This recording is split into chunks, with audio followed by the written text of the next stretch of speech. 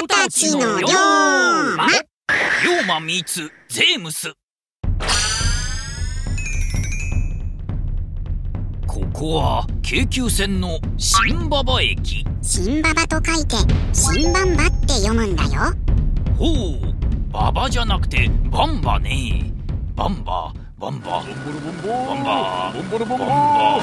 ボンボロボンボ待たせたなこの人は品川区ゆかりのイギリス人ジェームスさんだよ。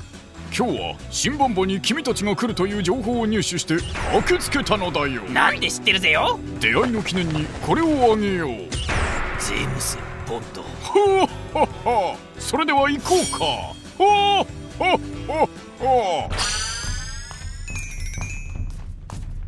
今日はこの通りを歩いていこう。の？ゼームス坂通り？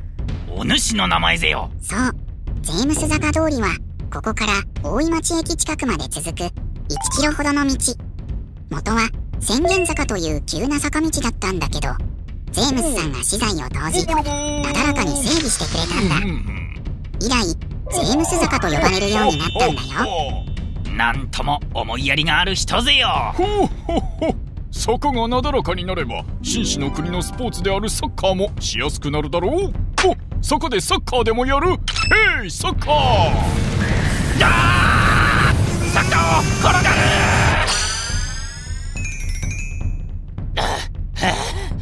転がったボールはこれで全部ぜよおここは私のお家じゃないか。そうここはジェームスさんの邸宅跡。ほら記念碑が立っているよ。ほうほうお主ここに住んでおったのか。ジェームスさんは幕末にイギリスの商人として来日したんだ。その後イギリスで軍艦の建造に携わった後再び来日し今度は航海の専門家として日本海軍を指導。その功績が認められ勲章まで授与されたんだ。ほう71歳で亡くなるまでずーっと日本で暮らしたんだよ。お主結構偉い人ぜよ。そう日本とイギリスをくっつけたまさにゼームス・ゴーンドボンボロボンボボンボロボンボボンボロボンボ絶対これが言いたかっただけぜよジェームス邸宅跡の道を挟んで反対側には高村千恵子記念碑があるよ詩人で彫刻家の高村光太郎の妻千恵子を読んだ詩レモン愛花がこの石碑に刻まれているんだなるほどだからレモンがお供えされているんぜよレモンアフタヌーンティーにちょうどいいこらこらお供えのレモンを使ったらいかんぜよ。いやいやこれは自前のレモンさ。ヘリコプターにいっぱい積んであるんだよ。へいもっとレモンカモンだから坂の上で出しちゃダメ。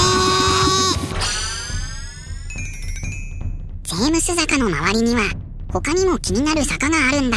えなになに？龍馬坂もっと知りたいって。坂本だけに坂もっと。え一言も言ってないぜよなんとこの坂は幽霊坂と呼ばれているんだ。ゆ幽霊？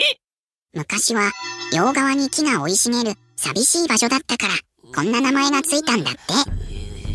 なんだ？怖いのか？まあレモンティーでも飲んで落ち着きたまえ。さあここに座って紳士の国のハンカチを敷いてあげるから。おっと失礼。これは紳士の布団カバーだった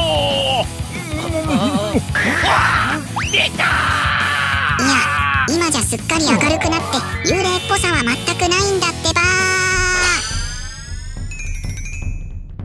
さて仙台坂のタブの木の下で一休みしよ見事な木ぜよ。う仙台坂のタブの木は樹齢およそ300年。品川区の指定文化財。天然記念物になっているんだ。仙台藩の下屋敷の裏庭に植えられていたと言われているよ。仙台藩。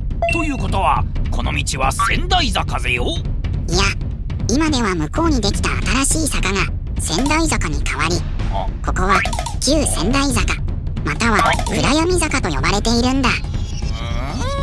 坂ばっかりでこんがらがるぜよ。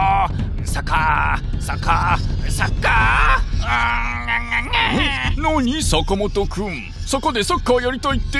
さっきのボールがまだあるぞ。ほれサッカー！いやここ坂だからやめて。おっとまさかの極秘情報を入手した。今すぐ駆けつけなくては。さらば帰るんか龍馬と黒船くんの現代品川散歩は続く。ぜよ